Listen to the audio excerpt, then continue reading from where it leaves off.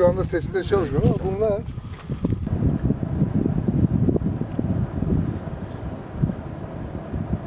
Evet.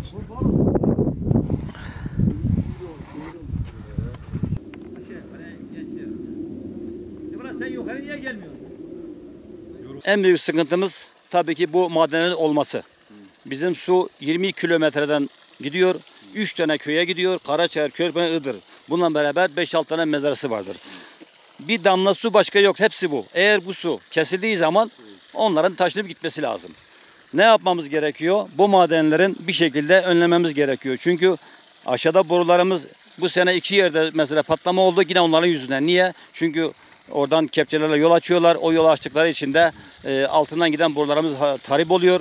Tekrar haftalarca e, belki de 15-20 gün yine köylerimiz susuz kaldı. Bu bölgede madenlerin gerçekten büyük tahribatlar oluşturduğunu, bu bölgeye büyük zararlar verdiğini, doğayı büyük tahrip, ed- tahrip ettiğini, yani bu bölgede e, yeşilliklerin yok olduğunu, e, işte suların kirlendiğini, işte aşağı doğru gidince akan suları gördüğünüzde işte ne kadar yeşil aktığını, bulanık aktığını hep beraber görüyoruz. Dolayısıyla biz federasyon olarak e, geçtiğimiz yıllarda e, çeşitli davalarımız var. Bu chat raporlar, iptal davalarımız var. Kazandığımız davalar var. E, bundan ilgili de davalarımız halen devam ediyor. E, bu konuda işte gerekli işlemlerin yapılmasını arz ediyorum. Ee, sularımız tahrip ediliyor, doğamız bozuluyor ve önüne geçemiyoruz.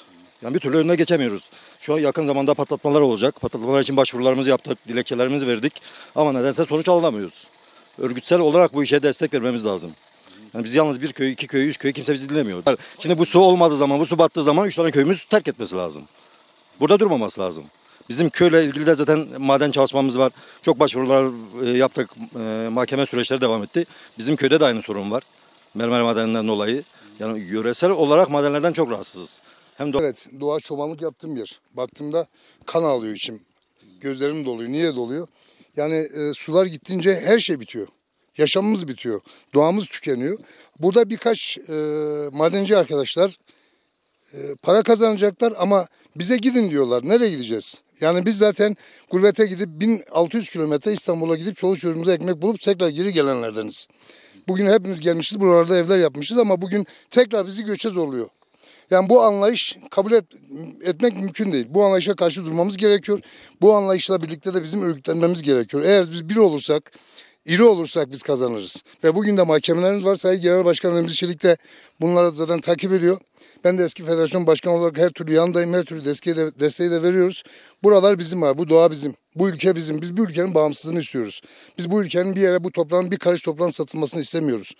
Bununla birlikte de kendi bölgemizde de ne olur? Talip olmasını istemiyoruz. talip olmasını istemiyoruz. Ne olur? Sahip çıkalım. Yani sizin vasıtalarınızda bütün kanalların vasıtasıyla, medyanın vasıtasıyla bizim buralara sahip çıkmamız gerekiyor. Ve STK'lardan destek bekliyoruz. Parti, siyasi partilerden destek bekliyoruz. Yani oy zamanı geldiğinde oy isteyen arkadaşlarımız bu, bu tür zamanlarda bizim yanımızda olmasını istiyoruz.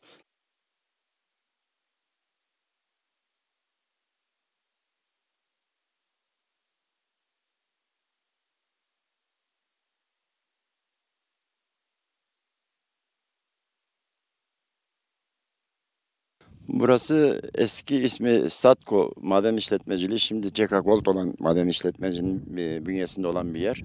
E, Çalışmayı onlar yapıyor. E, Bu e, oluşan bu gölün e, zamanı yaklaşık 7-8 sene belki de daha fazladır. Tabi oluşmuş sizin de gördüğünüz gibi bir canlı bomba halinde. Bizim bu aşağıdaki mezralarımız var. Köyleri, komşu köylerimiz var. Yani bu bir patlama gerçekleşirse burada bütün o köylerin hepsi zarar görecek bir şekilde. Hmm, Kaç sefer söyledik. Bize verilen cevap e, işte boşaltacağız, edeceğiz, e, eski haline getireceğiz. Ama burası boşaltılacak, bu su tahliye olacak. E, e, Öyle bir seferde e, değil de işte borulardan tahliye edip kısım kısım boşaltacaklardı. E, Maalesef olmadı. Burası senelerden beri böyle hazır bir bomba bekliyor. Her an patlayabilecek bir şekilde. Çünkü e, yapay bir şey bu. Yani e, kendinden doğal bir şey değil. Yapay bir şey olduğu için patlama tehlikesi çok büyük. Ama boşaltırım diyorlar, boşaltmıyorlar. Karşıda hemen kaynak suyu görüyoruz arkadaşlar. İsterseniz kamberciğim yani orayı da zoomlayabilirsiniz. Tam o karşıda. Bak orada o kaynak suyumuz, içme suyumuzdur. Yani o su buraya toparlanıyor, buraya geliyor. Karşı tarafta da var. Dolayısıyla da yani burada bu arkadaşların bu bölgede nasıl e, chat raporu alıyorlar, nasıl işletme raporu alıyorlar soru işareti bizim kafamızda. Bölgede müsait olduğundan dolayı tam karşısı bizim mermer ocağı dediğimiz. Çünkü orayı görmeyeceğiz. Şu gördüğünüz alan komple o mermer ocağı olacak. Yani biz başka bir yere gideceğiz. Oradan tam buradan iyi gözüküyor.